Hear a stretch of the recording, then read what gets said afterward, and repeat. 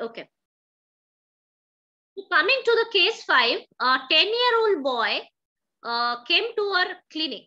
10 year old boy came to our clinic with eye strain and blurry vision after 15 to 20 minutes of reading.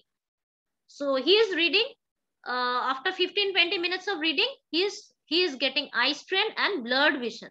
His uncorrected vision is both eyes 6 6, unaided 6 6, retinoscopy and acceptance also plus minus 6 by 6. Means there is no refractive error. Okay.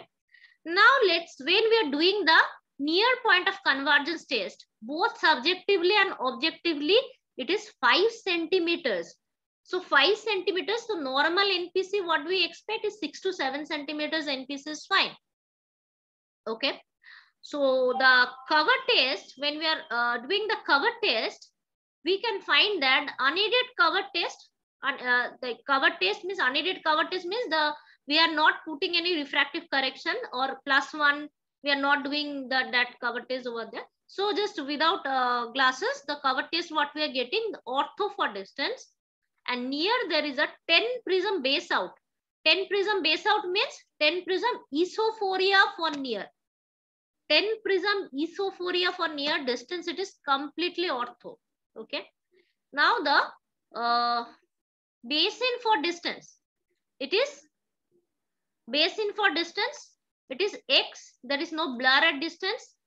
Uh, break at 7, 4 is the recovery. Near the base in is X, 6 and 4. Base out for distance is 12, 24 and 15. For base out for near it is 14, 30, 14, 30 and 18 okay. So now let's see the base in uh, let's see the base in value for distance. What should be the normal base in value for distance? So for a 10 year old child so base in value for uh, distance it is not given over here. Near it is 12 7 break should be at 12 and 7 uh, so somewhere around 11 and 7 should be the uh, sorry uh, 7 and 4 should be the base in for distance value. You can uh, see that the base in for near it is not proper for the child. Okay. Distance, it is x, 7 and 4. That is quite normal base in for distance. But near you can see the child cannot uh, like the, It is only x, 6 and 4. Okay. Whereas the base out, okay, that is means the near the child's eyes are more converged basically. For distance, it is normal, quite okay, not very normal, but still. Yes, the child can diverge a distance, but for near it is the values are very less. That means the child converges too much at near. Okay. Now coming to the, because the negative fusional vergence, that is very less at near. Okay. Now let's see the base out value for distance. It is 12, 24, 15. Near it is 14, 30 and 18. So it is quite high. The base out value for near should be around, near it should be at, base out for near should be 23 break plus minus 8 and 16. Okay. So a little bit, a little bit more you can see that, right? Uh, 14, 30 and 18. Okay. Now let's uh, see the Vergence facility. Vergence facility with the 12 prism base out and 3 prism base in that that should be around 15 cycles per minute. Okay? It should be around 15 cycles per minute. With the Vergence 12 prism base out and 3 prism base in it should be around 15 cycles per minute plus minus 3 so it can be 12 also it can be 18 also that is okay. So while seeing the Vergence facility for the child you can see 0 cpm that means zero cycles per minute and the patient has the base in prism. Okay. The patient cannot clear the base in. That means, uh, what do you think? What may be the problem for the patient? Base in is the negative fusional vergence or the positive fusional vergence? Yes.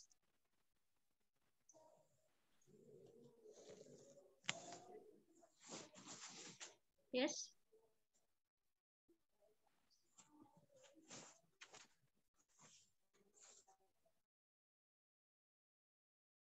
So base in means Base in means the negative functional vergence. For near, it is very, very less. And the patient cannot diverge with the means the patient, the negative functional vergence is almost very, it's very less. So that's the reason in the vergence facility test, it is zero cycles per minute and the patient is failing base, basin. Okay. Okay. Now let me discuss the full case, then we'll uh, discuss about the diagnosis. Okay. So the AC by A ratio is 10 is to 1. 10 is to 1. Okay, 10 is to 1 is an abnormally high AC by A ratio. That means for one diopter of accommodation, the accommodative convergence is 10. Okay, so the accommodative convergence is 10. 10 diopters for one diopter accommodation. The NRA is normal, you can see, plus 2.50. That is quite normal. So what should be the normative uh, PRA uh, value for this patient? Normative PRA value, let's go back and see what should be the expected PRA value.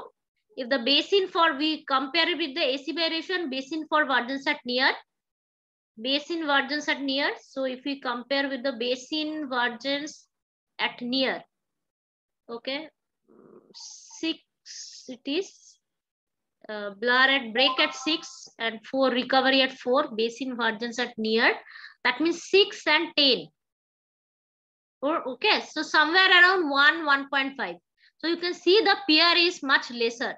Expected PRA value is much lesser okay that means the patient can relax accommodation but sorry, uh, yes, the patient uh, with the plus, uh, plus value, the patient relax, negative relative accommodation. Okay, but the patient cannot stimulate, right?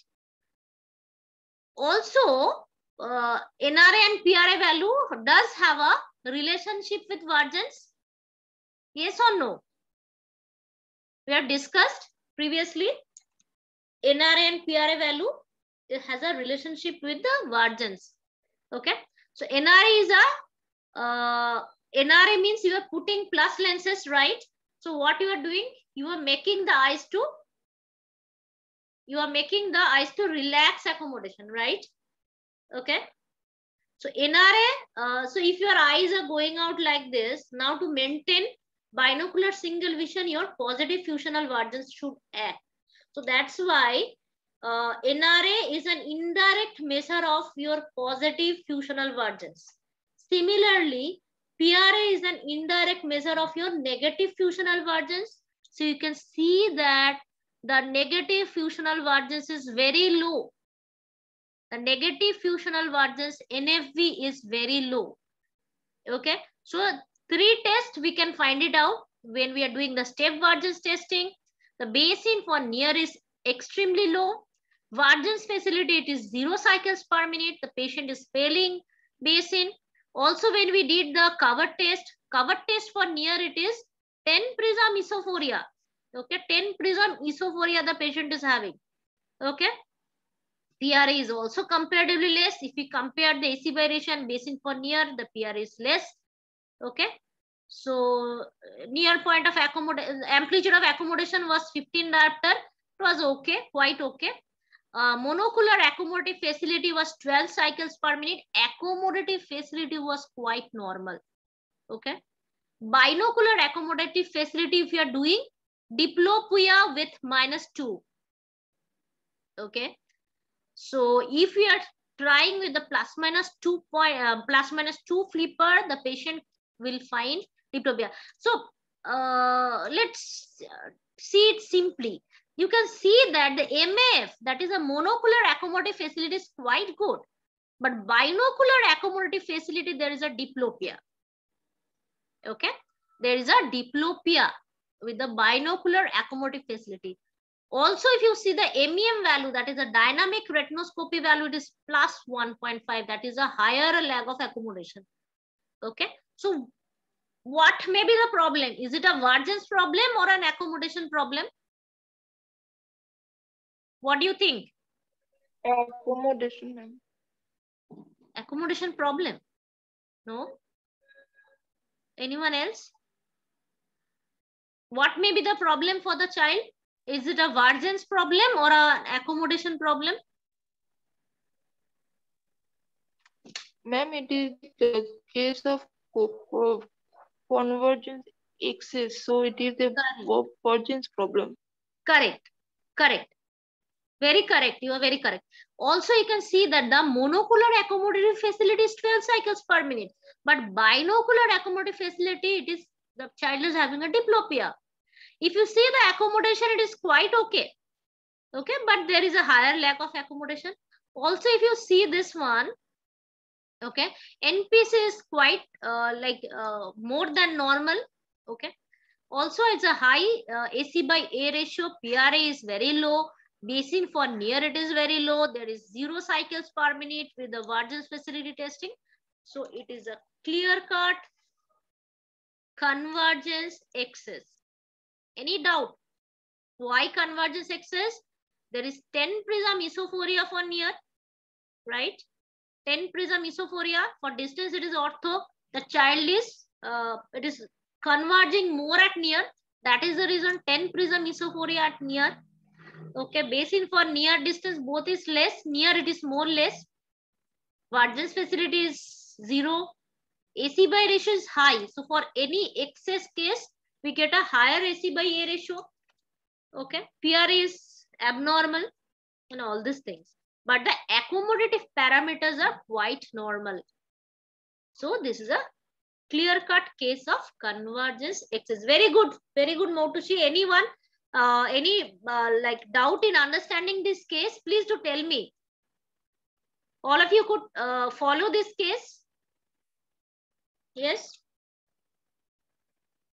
So always compare these values with the normative data. Okay.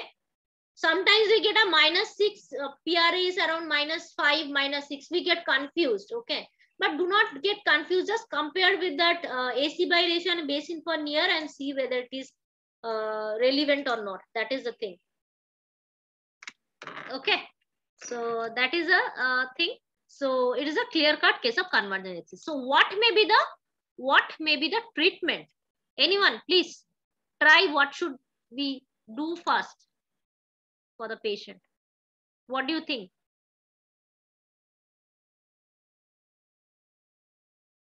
What should be the treatment for the patient? Yes.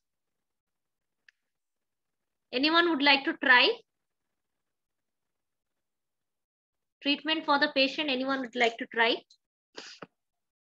okay so if you yeah, for the treatment purpose we can give the plus lens th therapy. Even we can give, start with the foxting and even we can uh, do with the uh, lifesaver cards we can also use. Correct correct. Very good. See here very good motushi. So here you can see the AC by ratio is 10 is to 1. So definitely you can start with the plus lens therapy. That means AC by ratio 10 is to 1 means if you can push plus 1 to the patient, it will resolve this 10 prism esophoria at near. See, eh, the near esophoria is 10 prism. 10 prism base out at near, that means 10 prism esophoria patient is having. So if, you, if you can give a plus one to the patient, if you can push a plus one to that patient, his problem will be solved. His problem was blurry vision after 15 to 20 minutes of reading. Okay. So definitely a plus lens therapy would work. Why? Because AC by A ratio is quite high. Okay. AC by A ratio is quite high. Definitely the plus lens therapy would work for the patient. But for plus lens therapy, if you're pushing a plus one to the patient, what will happen? His distance, esophoria will be zero, but sorry, the uh, near esophoria will be zero, but distance, distance there will be uh, around 10 prism exophoria will be uh, almost double. So we can see like we can do a cycloplegic refraction for the child. We can, if, if it is possible, we can give a plus 0.5 okay to use uh, use okay so we can see if the child is comfortable with plus 0.5 because plus 0.5 will also correct his 5 prism esophoria Okay. Also, plus lens therapy means with the plus lenses, he would be given plus lenses and with the plus lenses, he has to do the vision therapy. Now he's uh, having convergence excess. That means he is over converging at near. So we can start with the Brock-String therapy. Brock-String exercise we can start with along with the plus lenses. Okay. So slowly, slowly we have to monitor. We have to relax his excess convergence at near.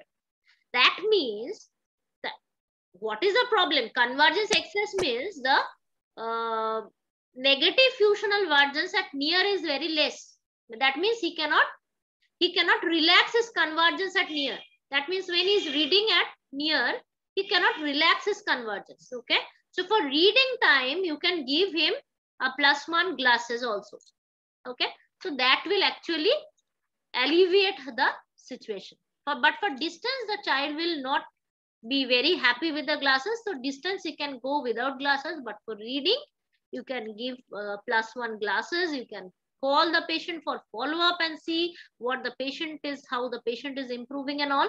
Meanwhile, meanwhile, uh, he need to do the in-office therapy also. That is a Brock-String therapy he can do. We can give it a lifesaver card exercise. But lifesaver card exercise, if you are giving, we need to train the divergence because the patient cannot diverge. That means the patient is over converging at near. So we can uh, give the lifesaver card exercise at the on the that one. Uh, the previous class I've shown no that uh, transparent sheet that one we can give it to improve the divergence okay? We can give the Brock-String and we can give the lifesaver card. Exercise is it clear to all of you? Any questions regarding this case? Any questions regarding this case